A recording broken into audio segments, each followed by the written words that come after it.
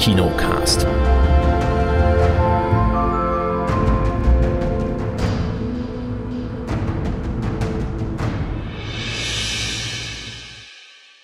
Hallo und herzlich willkommen und hallo mal wieder Kate. Auch mal wieder da. Hallo. Ja, grüß dich nach so langer Zeit. Ja, ist auch mal Zeit. Pause und so. Ja. Nein, alles gut. Ja. Wir sind wieder da. Und der Chris ist auch da. Hallo. Hallo, mal wieder Erik. Hallo. no, name, Denn wir hatten Fisherman's Friends 2 in der Sneak Preview. Es kam überraschend, denn der Film, der eigentlich kommen sollte, äh, kam nicht. Und da wurde uns ein anderer Film gezeigt und deswegen waren wir mit den Tipps völlig blank. Und da kam halt Fisherman's Friends 2, da, darüber hört er gleich was. Und ich hatte es ja schon angeteasert, ich war noch mal im Kino und diesmal nach der ganzen Story, die ich ja letztes Mal erzählt habe, mit anderen Kinos, wenn man fremd geht, Kino fremd geht, äh, Mhm. das bringt alles nichts, macht alles keinen Sinn. Innenstadtkinos ist the way. ist der Shit, ah, ne? Genau, this is the way. Und äh, genau deswegen bin ich in die Innenstadtkinos gegangen. Und das war sogar haha, unser Metropol, äh, unser Gloria 1. Ja, guter Mann. ja, das Gloria 1. Und ich habe meinen Platz genommen, den ich immer nehme, wenn ich alleine gehe. 14.1. Ähm, genau. Direkt am Fluchtweg, wenn was ist, bin ich sofort weg. Aber war nicht notwendig. Ich habe Oppenheimer geschaut. Darüber auch später etwas mehr. Und, oh, ich sehe noch Se äh, Serien sind jetzt dazu gekommen. Äh, also einmal School Spirits ist heute Thema und Hijack habe ich auch gesehen. Ähm, Chris, hatten wir da nicht drüber gesprochen oder war das off, off Mike? Weiß gar nicht mehr. Hatten wir das schon mal in der Sendung? wo- Was, Hijack? Ja, hattest du die nicht empfohlen? Ja, hatte ich, hatte ich Oder? mal vorgestellt. Hab ich In der gesagt, Sendung, ne? Genau. Ja, ja. Okay. Ah, gut. Gibt es jetzt ein kleines Update, denn ich habe es mittlerweile auch geschaut. Und fangen wir doch gleich mal an, Chris. Fisherman's Friends 2. Es geht nicht um die Bonbons. Nee. Oh, Erik, hey, heute. Wir haben ja auch Heute hoffe ich, dass, dass ganz viele Hörerinnen und Hörer ihre Füße oben haben, weil manche von Ja. Erik kommen heute sehr flach. wir haben ja auch noch einen Kracher mit Oppenheimer. Ja, ja, einen ein Bombenfilm.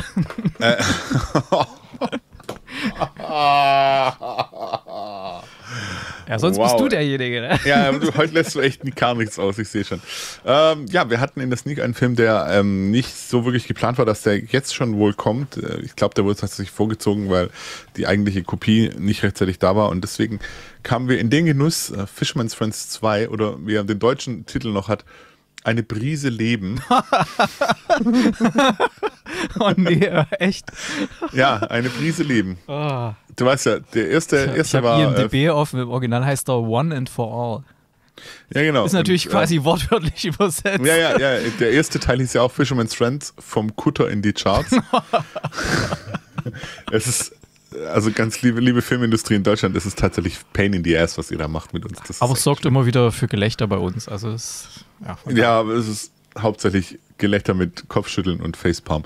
Ähm, ja, also vor vielen Jahren, also vor vier Jahren oder sowas, hatten wir den ersten Fisherman's Friends in der Sneak auch bei uns. Und ich kann mich erinnern, dass wir alle relativ beschwingt und gut gelaunt aus diesem Film rauskamen, weil es eben die Geschichte erzählt hat damals von diesen äh, Fischern, die auszogen und Shanties zu singen, um auch ihre, ihre Heimatstadt und alles zu retten und, und äh, da dann einen Riesenerfolg hatten damit, äh, die Charts gestürmt haben und so weiter. Und da geht's tatsächlich weiter. Also wir setzen an, ein Jahr nach dem Erfolg des ersten Albums und äh, wie es eben so ist, das zweite Album ist immer das schwerste, das kennt man auch in der Fußball-Bundesliga. Das erste Jahr nach dem Aufstieg ist alles tibi-tobi, es sei denn, dein Verein kommt aus Stuttgart. Das zweite Jahr wird dann richtig schwer. Ähm, da geht's dann meistens wirklich dem Abgrund wieder entgegen. Und da muss man dann gucken, dass man da die Kurve kriegt. Und genau das ist den Fisherman's Friends oder widerfährt denen. Ähm, die brauchen dringend noch einen, einen neuen Sänger in ihren Reihen. Ähm, und den zu finden ist schon nicht so einfach. Es gibt innere Querelen natürlich, weil äh, der Leadsänger, ähm, äh, äh, Jim heißt er, Jim ist der Leadsänger, natürlich äh, immer noch sein eigenes Ding da macht und auch immer noch an, an seinen Vater denkt, der ja leider im ersten Teil, Achtung Spoiler, verstorben ist. und mit dem spricht er tatsächlich auch immer noch, der auch ganz oft da ist. Und der sagt ihm auch so, hey, erzähl das bloß keinem, die halten dich für komplett irre.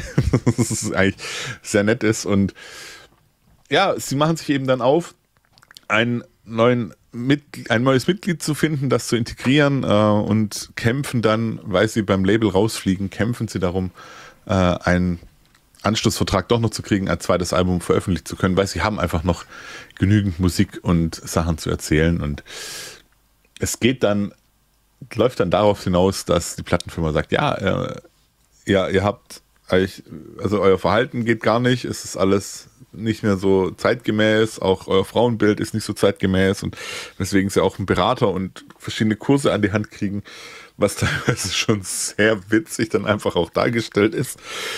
Ähm, und es geht im Endeffekt darum, dass sie einen Auftritt kriegen oder dass, dass sie darum kämpfen, beim Glastonbury Festival aufzutreten. Weil wenn sie das schaffen, dann hat, sagt die Firma, die, die, sagt Universal Music, sagt dann, ja, wenn ihr das schafft, dann bekommt ihr doch noch einen Vertrag für ein zweites Album. Das heißt, sie kämpfen mit inneren Querelen, inneren Problemen, kämpfen gegen die äußeren Sachen und machen das in der aus Teil 1 wirklich bekannten, charmant, leicht derben, aber, aber jederzeit komplett herzlichen Art. Äh, der, der Film ist eingeordnet unter Komödie, Drama und Musik und besser geht's eigentlich gar nicht. Also Drama jetzt nicht so im, im großen Stile, aber trotzdem natürlich auch so ein bisschen die Dramen der Welt dabei. Das zeigt sich nämlich dann auch, als in ihrem beschaulichen Dörflein sich eine ehemalige, eine ehemalige Superstar-Sängerin äh, niederlassen möchte. Und da geht es dann schon los mit, ähm, also Aubrey, Aubrey Flynn müsste es, glaube ich, sein, äh, die ihre Karriere quasi beendet hat wegen Ausrasten auf der Bühne, Beschimpfen von Fans, Drogen, Alkohol, was weiß ich was alles. Und ja, die haucht quasi dem Ganzen auch nochmal so ein bisschen neues Leben ein. Wer jetzt denkt, haha, wahrscheinlich machen die ein Mixtape. Hm, weiß ich nicht. Vielleicht. Sagen wir mal nichts zu. Äh, aber es ist halt wirklich eine, eine schön erzählte Geschichte wieder. Eine schön erzählte Geschichte, die wirklich zum ersten Teil passt, wie ich fand. Äh, wieder gespickt auch mit schönen Songs. Also es gab einen Song, den der Erik jetzt die ganze Zeit schon hier ähm, mit, mit an der Nordseeküste äh, betitelt, aber im Original heißt er wirklich Wild Rover. Äh, und das ist halt das, was Klaus und Klaus damals geklaut haben mit an der Nordseeküste. Ne? Covered gecovert, genau. Ähm, die haben halt eine deutsche Version quasi mhm. draus gemacht und äh, im Original heißt er No Nay Never, No Nay Never, No More. Will I play the Wild Rover? No, never, no more. Und ich habe schon wieder Bock mitzusingen, weil es einfach echt Laune macht, einfach mit, mitzuschunkeln, mitzudingsen.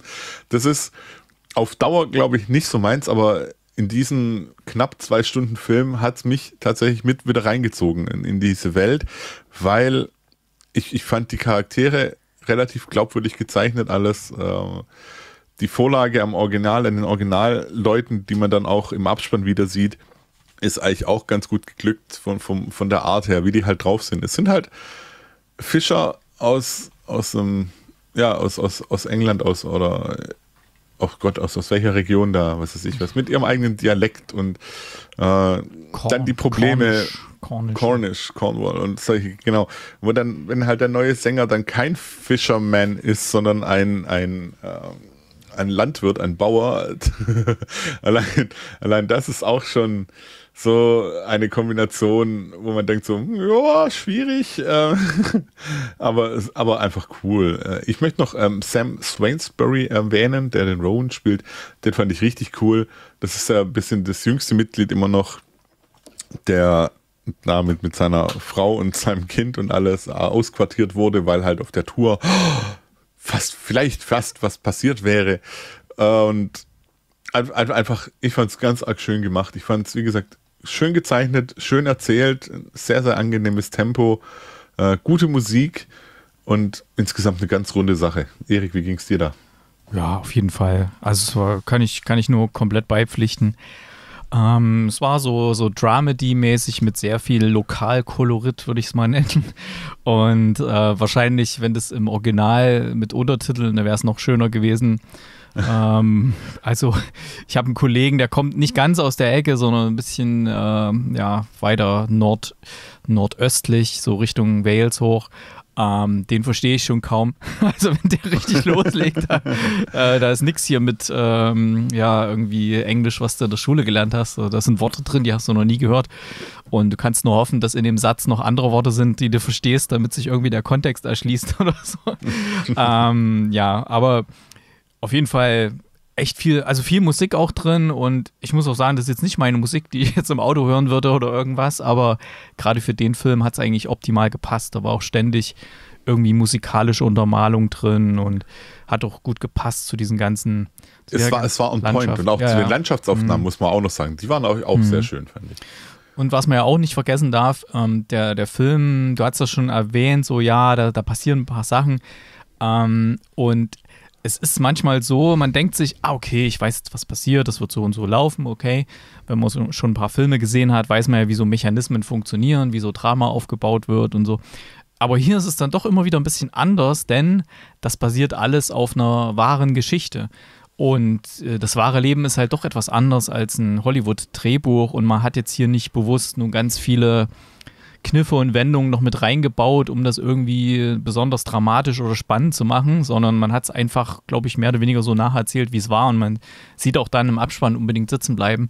Ähm, sieht man auch wieder, wie beim ersten Teil, auch schon so reale Szenen von den realen Leuten, die genau die Sachen erlebt haben, die wir im, im Film jetzt gerade gesehen haben. Und das macht es auch nochmal sehr interessant. Und ja, James Purefoy wieder als der, der Chef der Truppe den mag ich sowieso, den, den Darsteller, seitdem ich den damals bei Knight's Tale gesehen habe mit Heath Ledger. Ähm, ja, echt, echt ein cooles Ding. Ich wusste gar nicht, also ich hatte, glaube ich, mal gehört, dass es den gibt, aber dass der jetzt schon kommt. Äh, der startet nämlich im August in Deutschland. Ähm, Ende August, glaube ich, 24. August, so die Drehung. 24. August, ja. genau. Genau, das war mir gar nicht so bewusst, dass der jetzt doch schon so zeitig kommt. Ich hatte den irgendwie nächstes Jahr im Frühjahr verortet. Ähm, als ich mal gehört habe, dass der kommt. Aber ja, gut. Schöner Sommerfilm. Vielleicht sowas für Perfekter Sneak-Film. Open, ja, perfekt auch. Äh, vielleicht auch was für die Open-Air-Kinos. Da war so eine leicht beschwingte Story mit viel Musik und so eigentlich optimal. Jetzt, wenn die ganzen Open-Air-Kinos im Sommer wieder öffnen, sollten die den unbedingt zeigen, mit uns Programm nehmen, auch wenn der da ganz neu ist. Meistens zeigen die ja Filme, die schon ein paar Monate älter sind. Aber vielleicht doch mal den nehmen. Ja, bringt gute Laune rein ins Publikum. Absolut. Kate, hast du eigentlich den ersten damals gesehen? Nee. nee. Ich also ich habe ihn auch nicht nachgeholt oder so. Ja, gibt es bestimmt irgendwo zum, zum Streamen oder vielleicht bestimmt. mal auf Sky oder so. Kannst du, denke ich mal, ruhig mal reingucken. Ich habe gerade mal geschaut, wir hatten den damals in der Sendung 577. Zum Vergleich, heute sind wir bei 772. ähm, also ungefähr vor 200 Folgen. Und das war am 28. Juli 2019. Das ist auch schon wieder vier Jahre her. Aber fast genau. Guck mal, heute ist der 23. Juli. Ja. 28. Juli haben wir zumindest drüber gesprochen und wir haben es auch eine Woche vorher gesehen haben ungefähr. Ja. Sehr, hm. sehr cool. Ähm, ja. Empfehlung von uns und ich gebe sieben Punkte. Und ich habe auch in der Metro, äh, in der Gloria Sneak, in der Gloria Sneak oh. Gruppe äh, auch eine Weiterempfehlung dagelassen. Ja, es geht mir genauso. Ich habe ihm 7,5 gegeben, das heißt, ich gebe in der Gruppe auch 8. Äh, auf jeden Fall 100% Weiterempfehlung in dem Fall, weil einfach schön und tatsächlich pendelt der Film aber zwischen 4 und 10 Punkten aktuell, was äh, schon sehr spannend auch ist. Aber trotzdem, ähm, ich hatte sehr, sehr viel Spaß. Einfach gute Laune, gute Musik. Ja. Schön. War ein schöner Ausflug Top dorthin. Sneak. Und was können wir denn morgen erwarten? Wie lautet denn der Hinweis? Der lautet, es herrscht Ausnahmezustand. Okay, sind da schon irgendwelche Und, Tipps eingegangen? Ja, ähm, einmal Reragu-Rendezvous.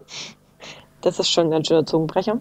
Ähm, dann hat äh, eine Katrin gepostet, ich weiß nicht, ob das zwei einzelne Posts sind, aber also zwei einzelne Filme sind. Ähm, Tempete und Zoe und Sturm. Keine Ahnung.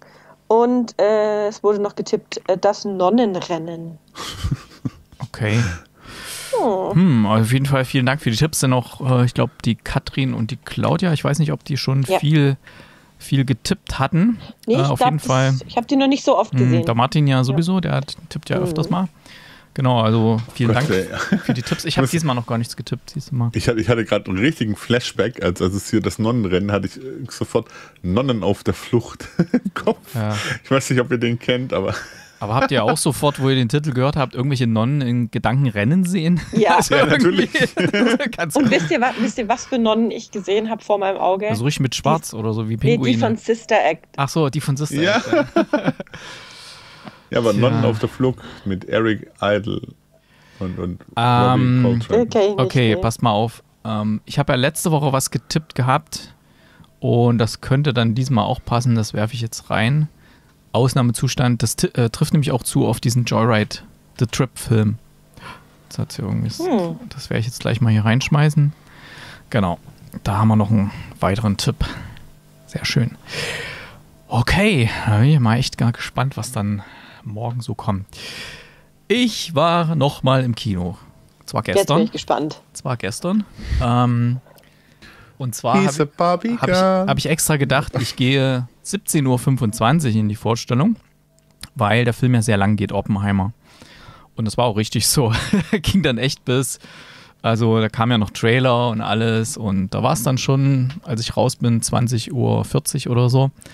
Allerdings ein, was habe ich nicht bedacht, ähm, Samstagnachmittag nach Stuttgart reinzufahren, ist ein bisschen schwierig mit Parkplätzen, also da bei unseren üblichen Sachen.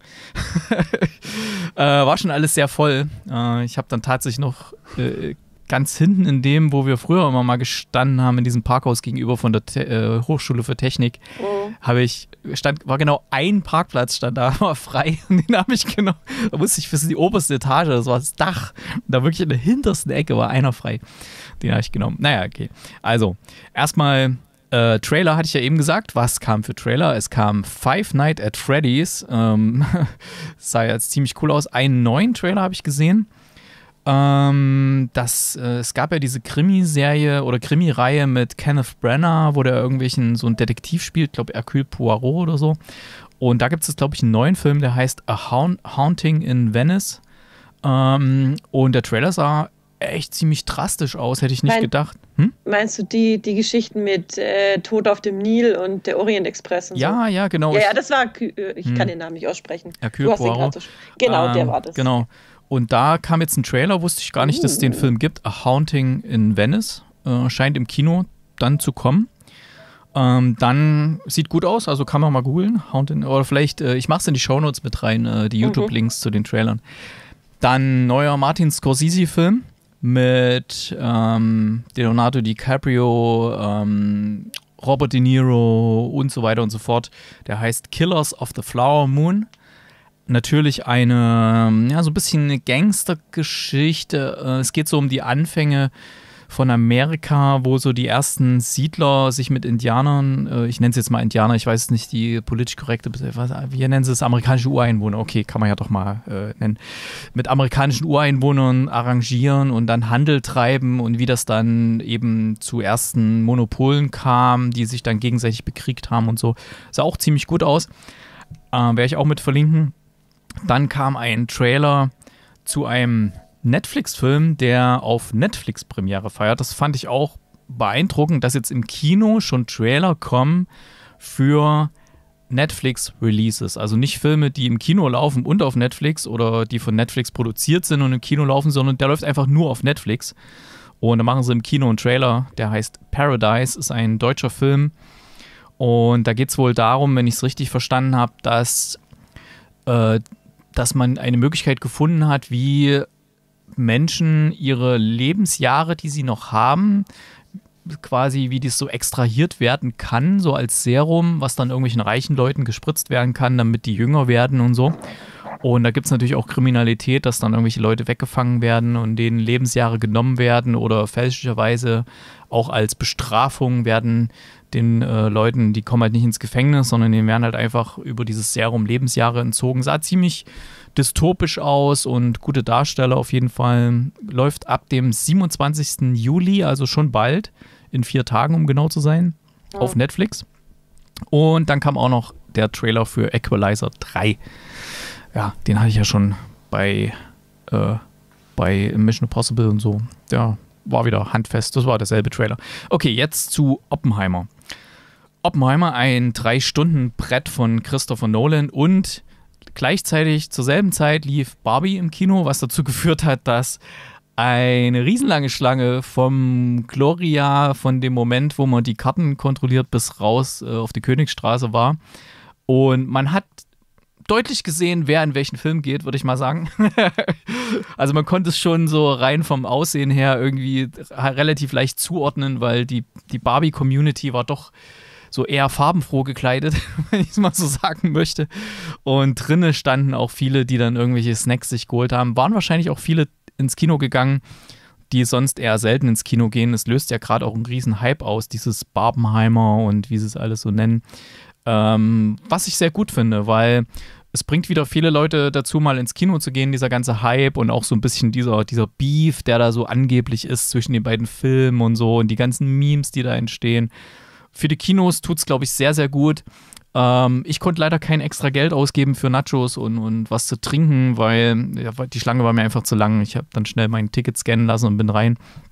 Und ja, ähm, worum geht es in Oppenheimer? Es geht nicht so ganz, wie der Trailer vermuten lässt, nur darum, wie haben sie die Atombombe gebaut oder wie, wie wurde das alles aufgezogen? Es gab ja mal so eine Serie, die hieß, glaube ich, Manhattan, wenn ich mich recht erinnere, so eine Miniserie, wo es darum geht, wie sie da in Los Alamos ähm, die ganzen Wissenschaftler interniert haben und dann das äh, Manhattan Project ähm, ja, zu, zu entwickeln und durchzuführen, sondern hier, es beginnt damit, dass wir sehen erstmal, wie Oppenheimer mh, hm, quasi noch in jüngeren Jahren, er wird übrigens gespielt von äh, Cillian Murphy, äh, wie er in jüngeren Jahren mh, an, an der Universität ist und wie er da schon so, würde man sagen, mit Depressionen auch so ein bisschen zu kämpfen hat und sich dann auch, äh, ja, auch dort nicht ganz so gut war mit den ganzen Forschungen und so weiter und wie er dann, das wird alles relativ schnell in kurzen Schnitten,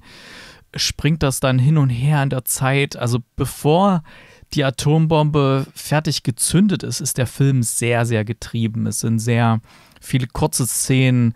Äh, uns wird die, die Vorgeschichte erzählt von Killian Murphy, wie er auch die, äh, diverse Wissenschaftler getroffen hat. Ähm, und es wird von hier nach da nach dort gereist, in den Zeiten gesprungen und dann ist auch immer wieder eine Zeitebene drin, wie er dann später in der ganzen McCarthy-Ära, als viele, viele Wissenschaftler und prominente Personen, gegen die ermittelt wurde, wegen eventueller kommunistischer Umtriebe, wo er auch vor einem Tribunal äh, sich stellen musste. Und in diesem Tribunal wird auch seine ganze Vergangenheit nochmal aufgearbeitet und das wird uns dann halt wiederum in Rückblenden dann auch erzählt und gezeigt und das Ganze wirklich gerade am Anfang äh, muss man wirklich sehr viel mitbringen, um dem Film zu folgen. Es ist also es geht wirklich fast eine Stunde mit relativ kurzen Schnitten, wie er irgendwelche Leute trifft, wie, wie irgendwas Einfluss auf seine Entwicklung nimmt und dann später in dem Tribunal bestimmte Sachen ausgesagt werden, die wieder äh, dann gezeigt werden, wie das damals war und so weiter und so fort bis es dann zu dem eigentlichen Moment kommt, wo er dann berufen wird, ähm, dieses Projekt, das Manhattan-Projekt zu leiten, wo dann Matt Damon an ihn herantritt. Der spielt ähm, so einen Colonel und dann wird in Los Alamos dieses ähm, ganze, diese ganze Stadt in New Mexico außen, außen quasi aus Nichts äh, entsteht dort. Und äh, am Anfang hat natürlich die USA sehr wenig Ressourcen, sie haben sehr wenig Uran, spaltbares Material, das muss natürlich erstmal alles angereichert werden, um überhaupt erstmal so weit zu kommen. Und inzwischen soll das Team um Robert Oppenheimer diese ganzen theoretischen Fragen beantwortet haben, wie kann das funktionieren, was wird gebaut, wie wird es gebaut, wie wird es gezündet und so weiter und so fort, was, was sind die Auswirkungen und er holt sich dafür auch da die besten Wissenschaftler, auf die er zugreifen kann, mit dazu. Und hier auch, man sieht quasi, ich weiß nicht, ist so ein bisschen das, das Problem, was dann auch Quentin Tarantino, in Anführungszeichen Problem, was Quentin Tarantino mittlerweile hat. Das heißt, wenn Quentin Tarantino einen Film dreht, will irgendwie gefühlt jeder mitmachen.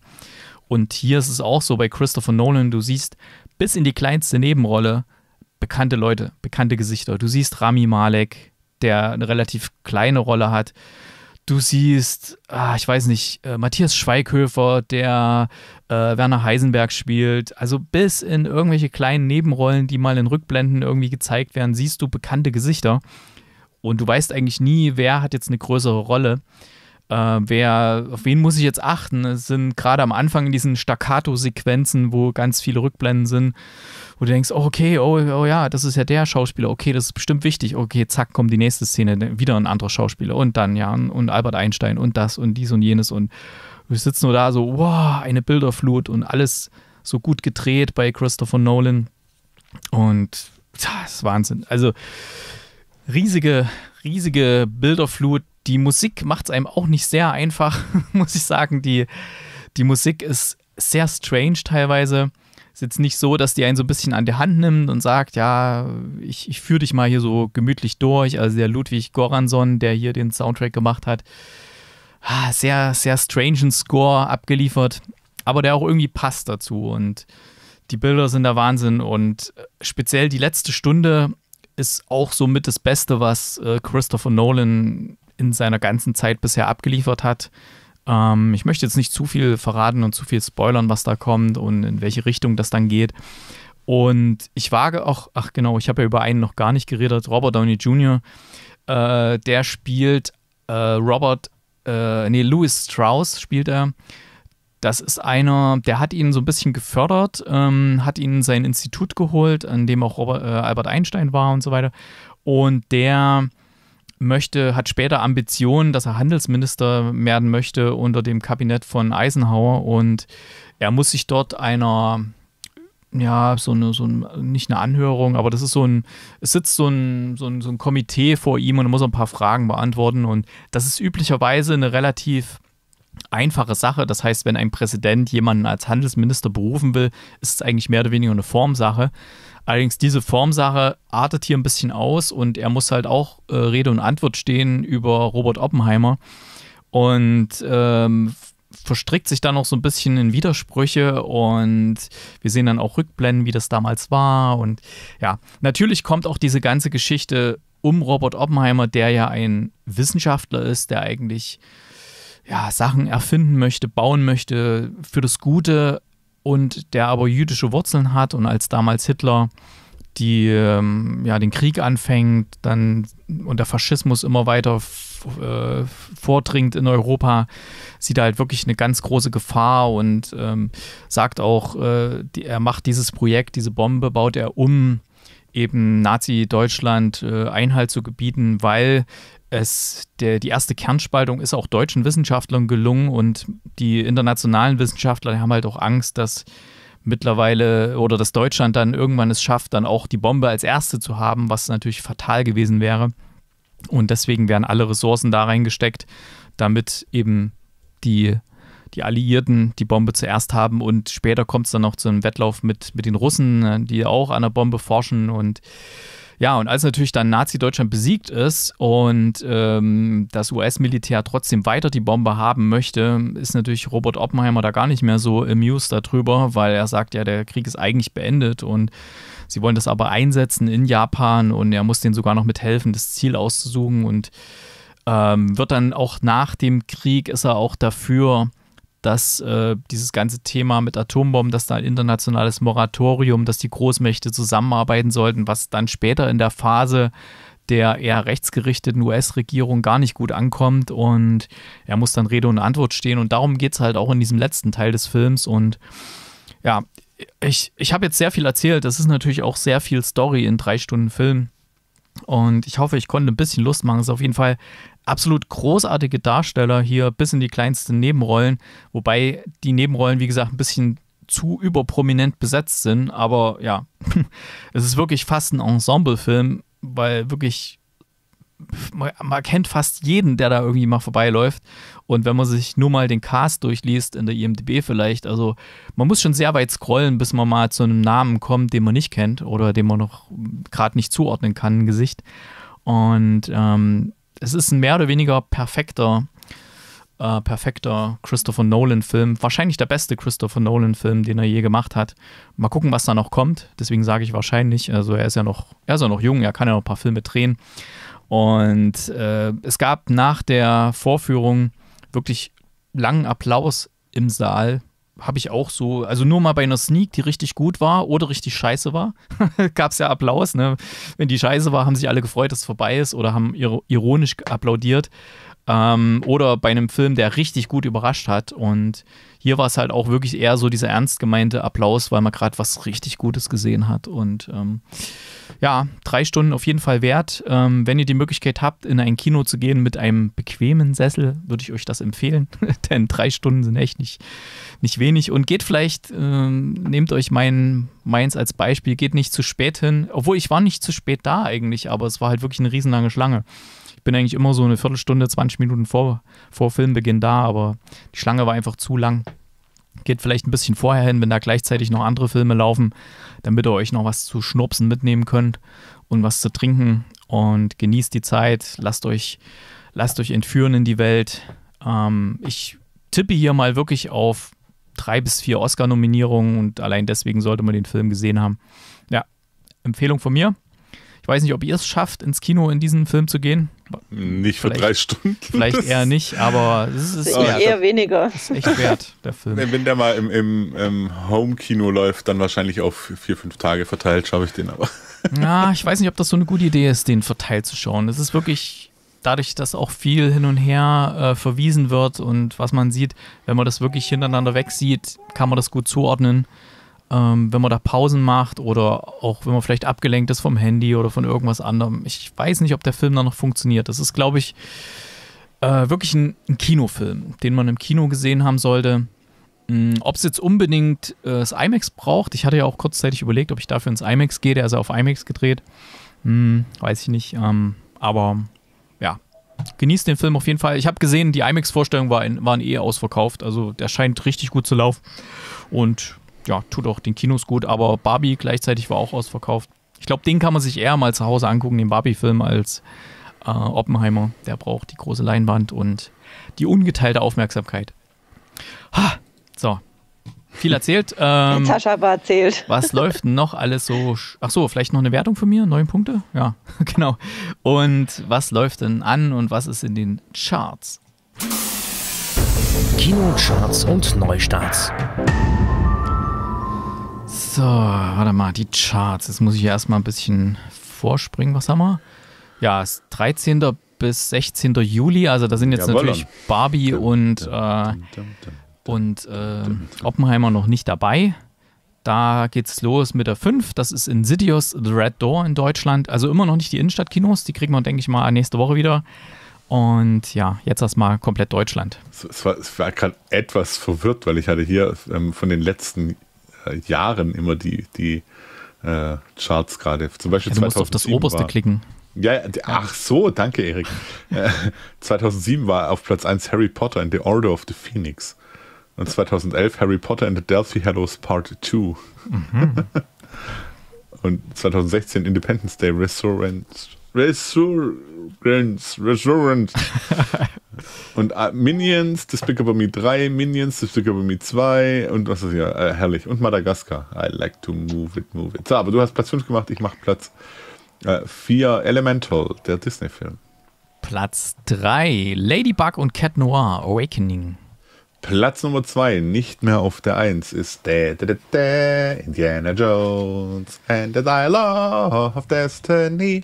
Hat jetzt in Deutschland 10 Millionen eingespielt, ist auch nicht schlecht für Deutschland. So.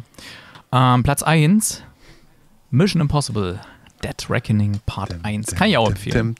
Also momentan echt gute Filme ins Kino. Was läuft denn diese Woche an? Muss ich diese Woche schon wieder extra ins Kino? Erzähl mal, Chris. Was läuft denn an? Oh ja, ich sehe schon. Ich muss noch mal extra ins Kino. Also, ja, Lassie, ein neues Abenteuer. So, oder meintest du was anderes? Du meintest Last Contact, oder? Nee, Lassie, das sah echt nicht schlecht aus. War es schon Lassie? Okay, der Trailer sah nicht schlecht aus. Ich glaube, Collie-Hündin, der berühmtesten Collie-Hündin der Welt, die mit dem jungen Flo ein sauervoller Abenteuer im Südtirol verbringt. Und ich erinnere mich, es kam doch vor ein paar Jahren schon mal ein Lassie-Film und da hat jemand seinen Hund mit ins Kino genommen und das fand ich damals ziemlich unverantwortlich, wenn ich ehrlich bin. Ja, das ist nichts für, für Hunde. Ich denke ja. nicht, dass da Hunde sein sollten, auch wegen ja. der Lautstärke. Aber das, ja. ja. Oh, Talk to Me sieht aber auch gut aus. Ja, dafür haben wir auch was zu verlosen. Dazu kommen wir dann später noch. Also hört dann mal weiter rein. Ähm, es läuft an Talk to Me, ein australischer Horrorfilm. Und da gibt es nachher ein paar Freikarten zu gewinnen. Also horcht dann mal weiter zu. Ähm, da geht es um eine Gruppe Jugendlicher, die mit Hilfe einer mysteriösen Handskulptur Tote aus dem Jenseits beschwören, bis die Seancen plötzlich in tödlichen Ernst umschlagen. Aber das Plakat sieht cool aus. Das ist, glaube ich, was für Kate. Es startet auch Geistervilla, Disney-Familienfilm über eine alleinerziehende Mutter, die eine bunte Truppe anheuert, um ihr neues, von Geistern heimgesuchtes Haus zu exorzieren. Äh, da stelle ich nur eine Frage. Wenn du Geister hast, who you gonna call? Ja, ob, ob der Film gut läuft, weiß ich auch nicht. Der, der Trailer sah irgendwie nicht besonders aus. Der kommt dann eh bald auf dem Streamingdienst. Hm, denke ich auch. Ähm, Last Contact, ein dystopischer Science-Fiction-Thriller über vier Soldatinnen, die auf einer Militärbasis inmitten des Ozeans auf Ablösung warten. Das ist irgendwie so, ich glaube, so Waterworld-mäßig, da ist irgendwie alles untergegangen und da gibt es nur noch so ein paar Militärbasen und so hatte ich mal den Trailer gesehen, sah ganz cool aus. Okay. Dann startet ein Film, der könnte äh, der neue Lieblingsfilm von Erik werden. Äh, Salamandra. Französisches Drama über eine 40-jährige Europäerin, die nach dem Tod ihres Vaters nach Brasilien reist und einen jungen Brasilianer kennenlernt. Warum soll das mein Lieblingsfilm werden? Naja, Französisch, äh, 40-jährige Europäerin, äh, Ist ja keine Drama. Französin hier. Brasilien. Also, Was habe ich denn schon Brasilien am Hut? nix, gar nichts. Gar nichts. Ähm, Verrückt nach Figaro. Eine romantische Komödie über eine erfolgreiche junge Fondsmanagerin, die ihren Job und ihren langjährigen Freund verlässt, um in den schottischen Highlands ihrem Lebenstraum zu folgen, Opernsängerin zu werden. Aha. Ja, das ist äh, ganz äh, wirklich Ausnahmezustand. Äh, dann haben wir noch ein italienisches Drama mit Penelope Cruz als liebende, aber überforderte Mutter dreier Kinder im Rom der 70er Jahre. Und zwar L'Immensità, meine fantastische Mutter. Okay. Brothers Keeper läuft auch noch an ein. Ich nehme mal an, türkischer Film. Yusuf und Memo sind beste Freunde. Gemeinsam wachsen sie im osttürkischen Bit- Bitlis äh, in einem Internat für kurdische Jungen auf. Als Memo plötzlich krank wird, ist Yusuf auf einmal alleine dort in den sowieso schon einsamen Bergen Ostanatoliens. Denn wirklich helfen will zunächst niemand. Yusuf muss gegen Bürokratie und die Schulbehörden ankämpfen, wie Don Quixote gegen die Windmühlen. Den Ernst der Lage begreifen die Verantwortlichen erst, als es schon fast zu spät ist. Sie beschließen, Memo muss ins Krankenhaus gebracht werden, doch vorher wird die Schule unglücklicherweise eingeschneit und hinter den Türen beginnt die Debatte über Schuld und Unschuld. Ui. Eieiei. Ich, habe auch noch einen Neustart. Hm? Äh, Rocky Aur Rani Ki Prem Kahani. Ah, Rocky Randava äh, Ranver Singh, ein reicher und verwöhnter Frauenheld, lebt mit seiner Großfamilie in Delhi. Als der Familie wegen Geldwäsche beschuldigt wird, schickt die Regierung die Wirtschaftsprüferin Rani Chatter Chatterjee. Rocky versucht, sie zu beeindrucken, während Rani seine Finanzen überprüft. Anfangs skeptisch beginnt Rani Rocky zu mögen, als er zeigt, dass er an sich arbeiten kann. Doch als Rocky die wahren Drahtzieher der Anschuldigungen entdeckt, muss er Rani überzeugen. Bei der Hochzeit seiner Schwester entlauft er die Rivalen und gewinnt Rani für sich. Adrian! Adrian! Falscher Rocky, aber. Ähm, es läuft auch noch an, nämlich am 1. August äh, ist so ein Wiederaufführungstermin. Ist zwar jetzt nicht ganz so in dieser Woche mit drin, aber ich will es vielleicht hier schon mal nennen. Ähm, das Parfüm ist in dieser Reihe Best of Cinema. Und äh, muss eigentlich das Parfüm noch immer noch gelesen werden in der Schule? Ist das noch Thema? Weißt du da was, Chris? Ist nicht ganz dein Bereich, äh, gerade aktuell glaube ich nicht. Also an der Ah. Realschule zumindest nicht. war ja damals, zum damaligen Zeitpunkt, ein, ein Riesenakt, das Ding zu produzieren, kann ich mich erinnern. Äh, Regie Tom Tykwer, der ja auch Lola Rent gemacht hat, prominent besetzt mit Ben Wishaw, Dustin Hoffman, Alan Rickman und wirklich eine internationale Co-Produktion und diese Verfilmung dieses Bestsellers, wo ja viele gedacht haben, das ist ja eigentlich nicht verfilmbar, diese Art und Weise und wie man das so darstellen kann und ja, wer es noch nicht kennt, also Jean-Baptiste Grenouille, der hat ein besonderes Talent, er hat eine ganz, ganz feine Nase und äh, geht dann auch in so eine Schule, wo so Parfüm hergestellt wird. Dustin Hoffmann macht ihn da zu seinem Gesellen und da geht für ihn halt ein Traum in Erfüllung. Er er lernt dieses Handwerk des Parfümeurs von der, von der Pike auf und er versucht dann halt immer mehr Parfums zu kreieren und stellt dann halt fest, dass es eine Möglichkeit gibt, so ein, einen Duft zu kreieren, der wirklich alle Menschen total in Bann zieht und verrückt macht. Dumm nur, dass es halt damit zu tun hat, dass er Leute auch umbringen muss ähm, und dann daraus das gewinnen kann. Und sehr, sehr guter Film eigentlich. Also hat mich damals, ich bin da auch ins Kino und der hat mich echt umgehauen. Im Gegensatz zu anderen Filmen, die extrem gehypt waren, die mich nicht so umgehauen haben, aber der fand ich, den fand ich richtig gut. Habt ihr den auch gesehen? Ja. Bestimmt, ne? Kenn ich, ja, ja. Ja, ich habe den mehr als einmal gesehen. Der Ja. ist echt gut. Also wie auch das dargestellt wird, ähm, wie, wie die Düfte, das kannst du ja halt im Kino nicht, es ist halt nur Bild und Ton, ne? äh, wie das dargestellt wird, ist schon echt wahnsinnig überzeugend und gut gemacht. Und ich glaube, der funktioniert auch immer noch sehr gut, der Film. Äh, deswegen, ihr habt die Chance, den jetzt ab 1. August nochmal zu sehen. Das ist quasi der August Best of Cinema Film. Nutzt das. Ähm, ich glaube, war das nächsten Monat oder übernächsten Monat kommt Universal Soldier, habe ich schon einen Teaser gesehen. Als Best of Cinema. Da war ich damals auch im Kino, muss ich sagen. Äh, ja, Roland Emmerich. Nach Stargate war das, glaube ich. War das nach Stargate oder vor Stargate? Äh, Ich weiß nicht genau. Okay. Gucke ich nochmal nach. Ähm, jo, dann, was haben wir denn hier? Ach ja, News, News, News. News. So, ein was wollte der Chris nicht machen, dann mache ich das. Es ist Zeugnistag in den Innenstadtkinos. Wenn die Mathe-Note den Ticketpreis ergibt, ist am Mittwoch, den 26. Juli. Das heißt, äh, wenn ihr eine gute Note habt, äh, zum Beispiel eine 1, dann kostet euch die Vorstellung, das Kinoticket an dem Tag nur 1 Euro. Ja. Ja. Und selbst wenn ihr eine 5 habt, kostet nur 5 Euro. Nur mal so Ja. als Vergleich, ich habe 11 Euro für Oppenheimer bezahlt. Das Ja. heißt, selbst wenn ihr eine 5 habt, ähm, kostet euch nur die Hälfte.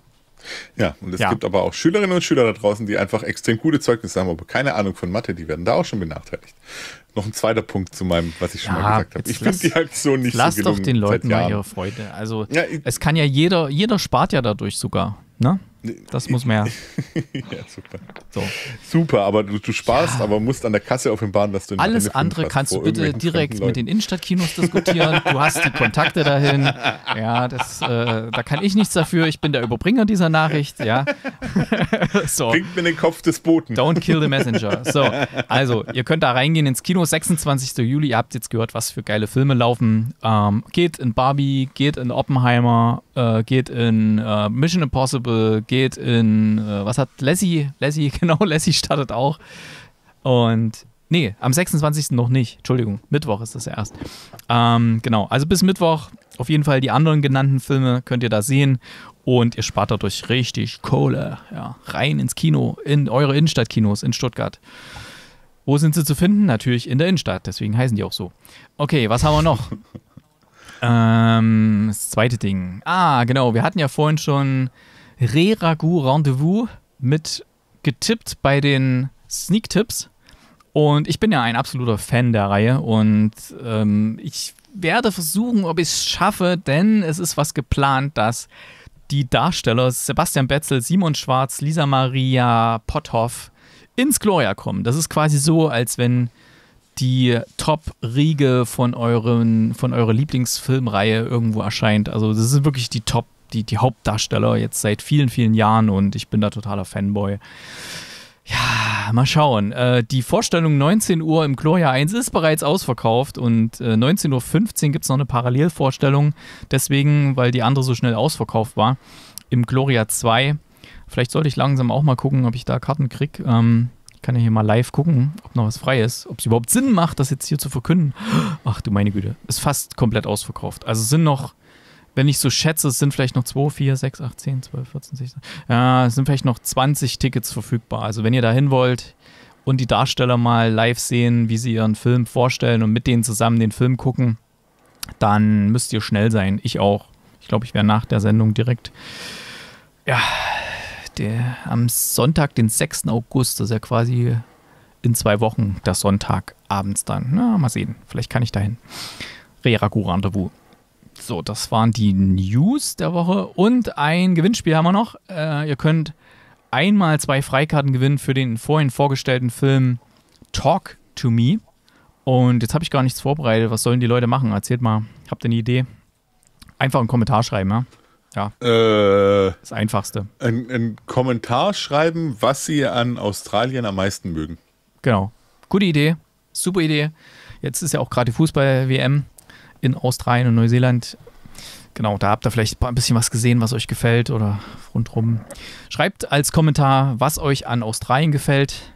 Und dann nehmt ihr mit teil bei den einmal zwei Tickets, die wir verlosen. Allerdings muss man sagen, dadurch, dass die ja per Post verschickt werden, ähm, müssten wir es wahrscheinlich so bis, bis vielleicht bis Mittwoch früh oder so laufen lassen, damit es noch rechtzeitig zugesandt Mittwoch werden kann. äh, 7 Uhr.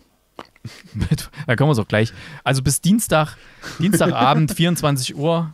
Ähm, 23.59 Uhr. ja, genau. Äh, wer da mitmacht als Kommentar, natürlich, äh, wenn ihr nicht, wenn ihr es gerade auf Spotify oder irgendwo hört, ihr geht auf kinocast.net auf die Webseite und klickt einfach den Beitrag zu dieser Folge zur Aufnahme 772 und schreibt dort diesen Kommentar. Schreibt einfach rein, was ihr an Australien mögt. Und ähm, dann seid ihr mit drin im, im Topf, äh, wo ihr einmal zwei Freikarten gewinnen könnt für den Horrorfilm, für den australischen Horrorfilm Talk to Me. Und ihr solltet für das mitmachen, ihr müsst ja da eine E-Mail-Adresse angeben, die sollte funktionieren, nur mal so als Hinweis. Also wenn ihr irgendeine Weg Wegwerf-E-Mail-Adresse nehmt und ich euch dann schreibe, äh, wenn da irgendwas zurückkommt, äh, ein komischer Responder oder sowas, dann ziehe ich automatisch den nächsten oder die nächste, ne? Nur mal so als Hinweis. Also Talk to Me Gewinnspiel. Puh, ähm, jetzt geht's weiter mit den Serien. Jetzt kann ich erstmal einen Schluck trinken und überlasse euch das Feld. Serien. Ja, ich habe äh, eine neue Serie angefangen. Und zwar kam die jetzt erst raus. Ich glaube am Donnerstag, Freitag, ich weiß es nicht genau. Ähm, auf Paramount Plus. Die heißt School Spirits. Ich hatte davon auch schon gehört. Ich wusste nur nicht, wann die rauskommt und bin dann durch Zufall jetzt äh, gestern oder am Freitagabend drüber gestolpert. Und ähm, ich ich kenne keinen der Schauspieler, was ich immer ganz cool finde, wenn ich irgendwie in, in eine Serie rangehe, wo ich niemanden kenne, dann, dann vergleiche ich nicht. Und das fand ich ganz gut. Ähm, es geht um Maddie, gespielt von Peyton List. Ähm, Maddie wacht mit einer ziemlich großen Kopfwunde an ihrer Schule auf und muss leider feststellen, dass sie tot ist und ein Geist ist. Und dieser Geist, also sie als Geist, ist an den Ort ihres Todes gebunden, die Schule.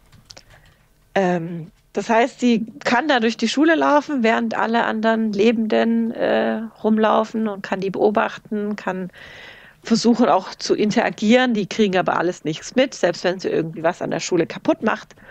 Ähm, wird es innerhalb von Sekunden wieder zurückgesetzt, ist dann quasi nur kurz in ihrer Welt kaputt und dann ist es aber in der richtigen Welt wieder ganz. Und das ist ganz cool gemacht. Und sie gilt jedoch nicht als tot, sondern als verschwunden, denn ihr Körper, sie, ihre Leiche wurde noch nicht gefunden. Und sie kann sich auch nicht an ihren Tod erinnern. Und das ist ein bisschen seltsam, denn sie ist nicht der einzige Geist an dieser Schule. Es gibt über die letzten Jahrzehnte noch ein paar andere Geister, die ähm, diese Schule bewohnen, die dort gestorben sind auf verschiedene Weisen. Ähm, und die alle können sich genau daran erinnern, wie sie gestorben sind. Nur Maddie kann das eben nicht. Und so versucht sie ähm, zusammen mit den anderen Geistern, mit denen sie sich anfreundet, ähm, rauszufinden, wie sie gestorben ist und wo ihr Körper ist. Und ähm, ja, sie ist aber wie gesagt an die Schule gebunden. Das heißt, wenn sie versucht, das Schulgelände zu verlassen, landet sie automatisch wieder in dem, äh, an dem Ort, in dem sie gestorben ist. Und ähm, das äh, ist ein bisschen frustrierend am Anfang. Und das halt auch das Interagieren mit den Lebenden nicht funktioniert, um die in die richtige Richtung zu schubsen und so, ist auch nicht ganz so einfach. Ähm, aber äh, wir, wir lernen in, in den ersten acht Folgen dieser Staffel ähm, viel über sie, ähm, lernen viel über sie, über die Geheimnisse, die sie umgeben haben und ihre Mitschüler umgeben haben. Und auch lernen wir die Geschichten der anderen Geister ein bisschen kennen. Und ähm, auch die Möglichkeit, dass man weitergehen kann, wenn man sich eben von dem, was ihn was einen noch hält, löst. Und äh, das ist, ich finde, die Serie ist extrem cool gemacht. Ähm, es gibt auch Rückblenden und da ja alles sehr nah beieinander ist, erkennt man die Rückblenden nur am Bildformat. Und natürlich, dass man, dass die Menschen mit Maddie reden. Ähm, das ist wirklich cool gemacht, mir gefällt es richtig gut. Das Einzige, was ich kritisiere an dieser, an dieser Serie, ist das Intro. Es ist erstens zu lang und zweitens total doof. Ich überskippe es immer, das ist äh, total nervig. Ähm, ansonsten bin ich richtig hooked. Also ich bin jetzt bei der Mitte der siebten Folge von acht und ich will einfach nur wissen, was passiert und ähm, wie geht es aus und schafft der eine oder andere Geist es sich dann doch noch von, von der Schule zu lösen und ähm, ja, wer hängt alles mit drin? Es wird immer, immer, immer spannender und immer verwirrender. Manche Geheimnisse wurden schon aufgedeckt und äh, manche kommen neu dazu. Das ist, ich muss sagen, ich finde es echt gut ich bin echt gespannt. Die letzte Folge heißt schon äh, Maddies Body und deswegen, ich muss unbedingt wissen, wie es weitergeht, beziehungsweise wie es endet. Und ähm, ob es eine, neue, noch eine weitere Staffel gibt, weiß ich nicht. Äh, dafür ist die Serie zu neu. Und äh, ich weiß natürlich auch nicht, inwieweit wir einen Cliffhanger haben. Ähm, aber ich kann die echt empfehlen. Die macht wirklich Spaß. Wo gab es die ja. nochmal? Paramount Plus. Ah, okay. School Spirits. School Spirits. Naja, werde ich mal vormerken. Vielleicht kommt es ja irgendwann sogar mal bei Fortsetzung folgt dran. Ich habe gehört, es ist da auf die Liste gewandert. Mal, ja. mal sehen. Okay, dann haben wir noch Hijack. Das hat ja der Chris schon mal vorgestellt. Da habe ich jetzt mittlerweile auch schon mal reingeschaut. Bin ich aber nicht auf dem aktuellen Stand, muss ich sagen. Das ist schlecht. Hm. Aber erzählt ruhig. Glaube ich, kann ich ab. Chris, willst du noch erzählen? Du bist gemutet. Das war richtig, ja.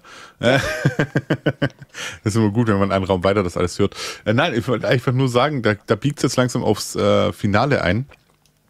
Und ich habe zu Kate damals gesagt, sie soll das unbedingt anschauen und äh, die guckt jetzt die Folgen schon vor mir und hängt auch schon dran so, uh, und ich muss wirklich sagen, für mich ist das eine, eine ultra starke Serie, die es tatsächlich schafft, auch mal richtig, richtig gute Cliffhanger reinzubauen. Ähm, und, und ich, ich finde die wirklich spannend. Also ich finde die extrem gut mhm. gemacht, gut gespielt, gut, gut, erzählt und alles. Äh, und, und ich wünsche mir eigentlich gerne ein bisschen mehr von solchen Serien. Ich weiß, weiß nicht, wie es euch geht. Also, also ich glaube, ja. dass es Kate ganz, ganz, ganz ähnlich geht. Und Erik, du hast jetzt angefangen damit. Ähm, du findest wohl auch nicht so schlecht, oder? Ja, ich bin sogar schon relativ weit. Also ich habe ein paar Folgen auf jeden Fall geschaut, aber ich habe nicht die von dieser Woche geschaut. Mhm. Ähm, ist auf jeden Fall spannend gemacht, wie dieser. Also es ist halt, ich hatte am Anfang so die Befürchtung, dass es so Liam Neeson-mäßig wie in dem Film Nonstop, wo er da in dem Flugzeug ist, so ruckzuck ist die Fresse dick Teil 3, ja, zack, er haut alle um und äh, ist der große Held, sondern ist halt hier nicht so, sondern äh, der Luther-Darsteller, wo mir gerade der Name nicht einfällt, ähm, der Idris Elba. Idris Elba, genau. Der ist halt, ob, obwohl er jetzt die körperliche Statur hat, dass er eigentlich locker allen ein paar auf die Mütze hauen könnte, glaube ich, ähm, ist er, spielt er hier eher so ein bisschen so einen schüchternen, kontrollierten Typen, der eher so beobachtet. Ja, schüchtern nicht, der naja, ist ja schon sehr selbstbewusst. Naja, aber er ist nicht so extrovertiert oder irgendwie, sondern er ist eher er ist so. Halt sehr durchdacht. Er beobachtet, er ja. analysiert. Er ist ein Vermittler. Genau. Und wir erfahren ja dann auch seine, seine Backstory, dass er eher so bei Vertragsverhandlungen dann mit dazugerufen wird, wenn die, wenn die Vertragsparteien dann so langsam auf die Zielgerade gehen, um dann wirklich das äh, über die Ziellinie zu schubsen, ne? wenn dann wirklich noch so die letzten Sachen ausgeräumt werden müssen, an denen meistens dann noch alles zu scheitern droht und so. Und er bringt sich halt hier so quasi in die Mitte zwischen den zwischen den Terroristen und den, äh, den Geiseln, um da so ein bisschen, er, er sagt den Terroristen, er wäre er wäre auf den ihrer Seite und versucht halt zu vermeiden, dass da irgendwelches Leid geschieht und so, ja. Ist echt, echt cool gemacht, aber er spielt halt doppelte Spielchen mit verschiedenen Leuten und auch so die, ja, da haben wir so die, die te technischen Gadgets, die da genutzt werden, um da zu kommunizieren und sowas. Das macht halt alles auch irgendwie Sinn. Das ist jetzt nicht irgendwelcher Quatsch oder so. Und ähm, cool. Echt, echt coole, coole Serie ja, bis jetzt. Hm? Mir, mir gefällt, was mir halt extrem gut dran gefällt, ist, die Art und Weise der Erzählung. Also zum einen, dass man eben hier Idris Elba hat, der versucht, das Ganze irgendwie also der, der, sieht ja, dass die, dass die, dass die Entführer des, des Flugzeugs so ein bisschen aufgeregt sind und einen Plan verfolgen, aber dann ein bisschen unruhig werden, weil sie früher anfangen müssen, als sie eigentlich wollten und so. Und so ein bisschen vom Plan abweichen, das spürt er und er versucht die dann auch so ein bisschen ruhig zu halten und so ein bisschen zu entschärfen. Und gleichzeitig beobachtet er extrem viel und merkt sich massiv Dinge und ähm, ich weiß nicht, äh, gefühlt ist der, ist der mehr als nur ein Verhandler bei, bei irgendwelchen Großverträgen. Der, der, ich habe immer das Gefühl, der, der ist eigentlich, das ist nur eine Tarnung für seinen eigentlichen Job und der arbeitet, was weiß ich, für die CIA oder sowas. Keine Ahnung, ich habe ich hab total viele Theorien. Ich habe auch voll die Theorie, wer hinter dem Ganzen steckt. Und ich bin ja auch immer noch der Meinung, dass unter den Passagieren auch noch einer ist, der zu der Bande gehört, der so sich quasi so ein bisschen äh, undercover gibt, um, um dann, um dann äh, zu hören, wenn die irgendwas planen oder so. Wenn die eine Revolte planen oder so. Ich habe lauter Theorien. Und jetzt in der aktuellen Folge ist es halt, geht es halt nochmal ein ganzes Stück weiter. Du erfährst, dass es ein viel, viel größeres Ausmaß hat, als du eigentlich dachtest. Und ähm, ich, bin, ich bin wirklich gespannt, wo, wo das hingeht. Und das macht mir persönlich richtig Spaß. Ich habe am Ende der letzten Folge saß ich da und habe gesagt, ich habe wirklich, es war keiner da, ich war alleine, außer meiner Tochter. Und ich so, nein, das kann doch jetzt nicht aus sein. Ich kann doch jetzt nicht eine Woche warten. Weil das war wirklich ein richtig guter Cliffhanger. Und ich so, nein, ich will mehr. Ich, ich bin ja jemand, ich gucke eine Serie in, in einem Tag durch, wenn es sein muss, ja. Und, ähm, und wenn es der Tag zulässt. Aber das, ist, das hat mich so geärgert, dass es nicht noch eine Folge gab zum Gucken. Tja, kann nichts machen. Ist halt so. Ja. Also könnt ihr empfehlen auch Hijack. Guckt da Ja, unbedingt, rein. unbedingt. Das Echt gute ist schon Serie. sehr cool. Hat man schon mal. Gut, dann sind wir soweit durch für heute und kommen jetzt direkt zu den Musiktipps. Music. So, natürlich. Kate ist wieder am Start. Was hören wir von dir? Ich gehe nächstes Jahr zum Taylor Swift Konzert Wohin nach denn? München. München. Ich habe Tickets Wo für die das? Eras Tour. Wupp, wupp, München? Im äh, Olympiastadion. Nein. In Bayern. Im, Im, Stadion? Also oben Air? Olympiastadion. Ah, okay. Ja, ja. Ich habe nämlich Tickets für die Eras Tour gekriegt und ich bin extra hyped. Ganz und es wird teuer, so gut. Oder? Whoop, das, äh, über Preise redet man hier nicht als Swifty.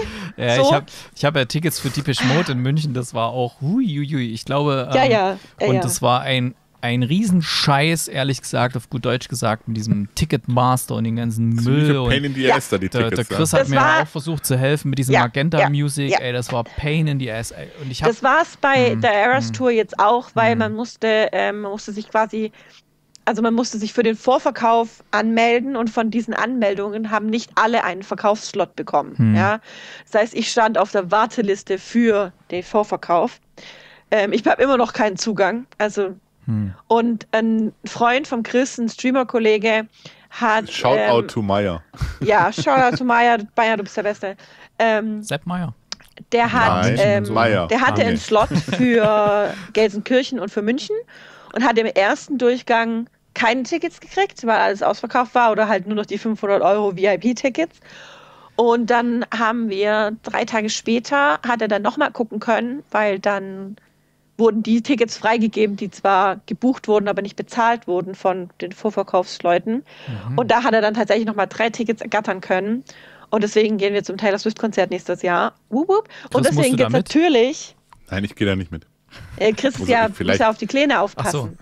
Okay. Ich habe ich hab so. Kurzdienst, aber ähm, ja, Kurzendienst, ja. aber äh, vielleicht deswegen, fahren wir zusammen hin und machen dann noch ein bisschen Familie oder sowas, weil ah, okay. mein Cousin ja. wohnt ja in München. Ja, Mal gucken. In Minge. Hin. Minge. Minge. Und deswegen kann es ja auch nicht anders sein, dass es heute einen Taylor Swift-Song von mir gibt. Und zwar von ihrem ähm, neuen, alten, neu aufgenommenen Taylor Swift Version Album von, ähm, vom, vom, vom Album Speak Now und zwar Mean. Ist ja auch gerade wieder so ein neu aufgenommenes Album, irgendwie auf Platz 1 ja. gechartet, ne, wenn ich das richtig ja, gesehen ja. habe. Ne? Genau. Die hat ja für ein paar ihrer Alben nicht die Rechte für ihre Musik, die, ja, ihr, die sie selber geschrieben hat, die ihr eigentlich gehören sollten, die ihr nicht gehören. Und deswegen hat sie einfach diese Alben nach und nach jetzt nochmal neu aufgenommen. Und auch ein paar Texte Klaus geändert. und Klaus das Lied, ne? Ja. Oh, Ja, ja. oh. Der hat bei einem Song oder bei zwei Songs sogar den Text geändert, weil er einfach nicht mehr der aktuellen Zeit entspricht und man das heute so nicht mehr sagen würde. Fährst du da hin aufs Konzert und abends wieder zurück? Oder äh, schlaft ihr ja, dort? also der Chris, Hm. Chris fährt. Ach so. Weil Ja, ich habe nämlich, Ja. äh, als es hieß, Deepesh Mode gehen da hin, ne, habe ich als erstes, bevor das mit den Tickets losging, habe ich mir ein Hotel reserviert. Und das war tatsächlich ähm, wirklich so, ein Tag später hat es einfach mal das Doppelte bis das Dreifache gekostet. Ja, glaube ich sofort. Dieselben Zimmer, ne? Und ähm, Ja. genau. Nee, wir Aber, haben, hm, es ist dadurch, dass es ein Sonntag ist, es sind zwar dann schon Sommerferien, hm. aber ich arbeite ja dann eigentlich wieder. Äh, und es ist das Konzert so am Sonntag in der ja, im. Montag, denke ich mal, Da freikriegen. fährt dann der so. Chris abends oder nachts uns heim. Ach so, ja. Oder Montag halt freikriegen oder so.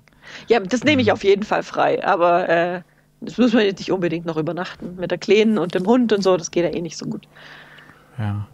Ich möchte übrigens ganz kurz erwähnen, dass ich gerade mit Schrecken festgestellt habe, dass der Erik der Mensch ist, der eine Verbindung zwischen äh, Taylor Swift und Klaus und Klaus herstellen konnte.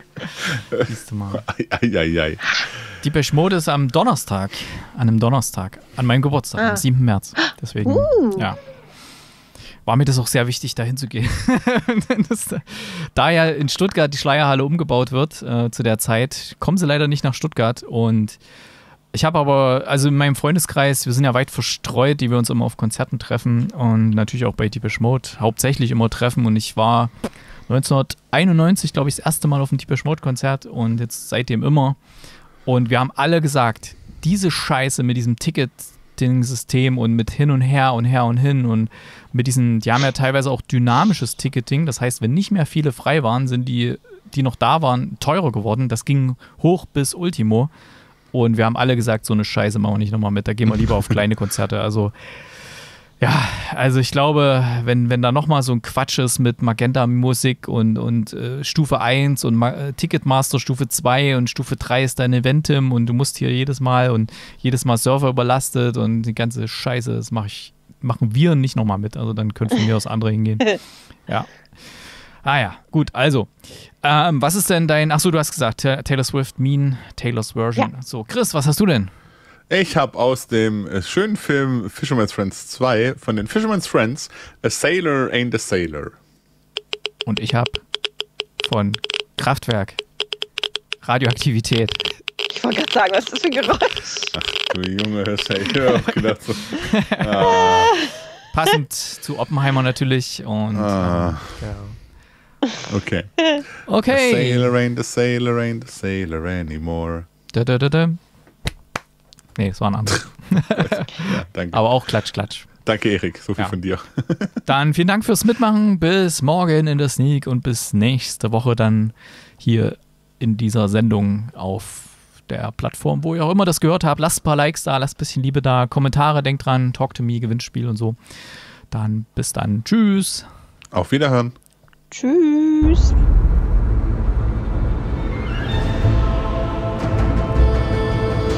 Bis bald im Kinocast.